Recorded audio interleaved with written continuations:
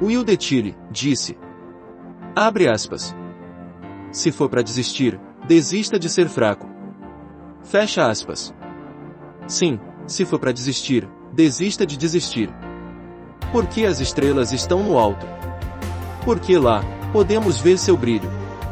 Cada estrela visível no céu é maior e mais brilhante do que o Sol. A menos intensa, entre as 50 mais brilhantes é a Alpha Centauri. E mesmo assim, ela é 1,5 vezes mais brilhante do que o Sol. Será que é porque estão mais próximas de nosso Pai no céu? Talvez. Mas o ponto é, se você quiser brilhar, esteja mais próximo de Deus. Cada um de nós, por Deus, vivemos para contribuir, uns com os outros. Mahatma Gandhi disse: Quem não vive para servir, não serve para viver. O segredo está, não em ser o melhor, mas em procurar sempre fazer o melhor. Por vezes, podemos tropeçar. Mas isso não deve nos impedir de continuar. Pois no alto temos o nosso Pai no céu. No Salmos 73, estrofe 23 e 25, Asaf disse: Sempre estou contigo, tomas a minha mão direita e me sustens. A quem tenho nos céus, senão a ti? O amor de Deus não tira férias. Deus não tira férias de nós. Apesar de darmos muito trabalho. Mas no Salmos 121, estrofe 4 e 5. Na tradução do Novo Mundo, lemos: Aquele que está guardando Israel nunca ficará sonolento nem dormirá.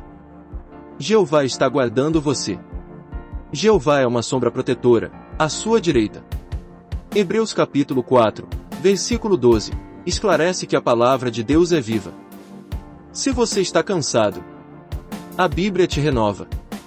Está precisando tomar uma decisão importante. Ela é a sabedoria de Deus. Não sabe qual é o próximo passo. Ela é a lâmpada para os seus pés. Deseja conhecer mais a Deus. Ela é a verdade revelada. Nunca devemos tirar férias da oração. 1 João capítulo 5, versículo 14 lemos. Não importa o que peçamos, segundo a sua vontade, ele nos ouve. Jesus nos deu um exemplo perfeito. Ele orava de várias maneiras. Às vezes, suas orações eram curtas e objetivas. Outras vezes, passava madrugadas inteiras em oração. Algumas vezes, Jesus falava com Deus a respeito de si mesmo. Em muitas outras, ele orava pelo povo que era como ovelhas sem pastor. Ele orava agradecendo o pão, ele também orou por seu amigo, Simão Pedro. Assim, vemos em nosso Senhor Jesus a maior autoridade sobre o ensino da oração. Com esta reflexão, aprendemos a importância da oração.